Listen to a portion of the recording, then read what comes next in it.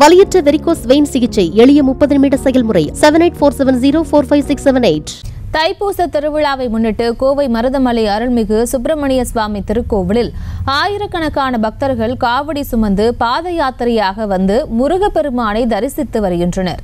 இது குறித்த மேலும் விவரங்களை எமது செய்தியாளர் அருண் வழங்கிட கேட்கலாம். அருண் வணக்கம். மேலும் விவரம்.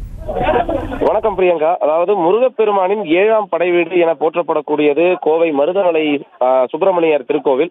இந்த திருக்கோவில்ல ஆண்டுதோறும் இந்த தைப்பூச திருவிழாவானது வெகு விமரிசையாக கொண்டாடப்படும். பல்வேறு பகுதிகளில் இருந்து பக்தர்கள் முருக பக்தர்கள் பாத யாத்திரையாக காவடி சுமந்து வந்து இந்த முருகப்பெருமானை வழிபடுவது வழக்கம்.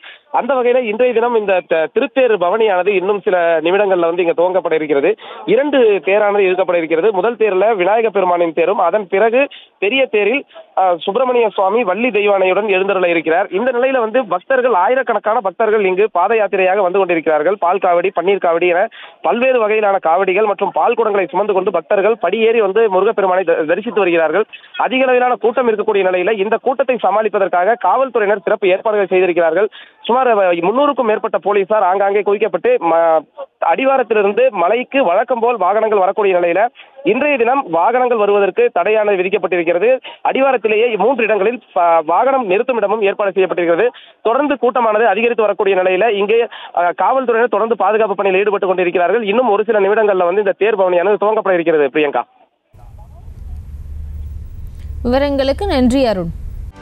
செய்திகளை உடனுக்குடனும் துல்லியமாகவும் தெரிந்து கொள்ள சப்ஸ்கிரைப் பண்ணுங்க.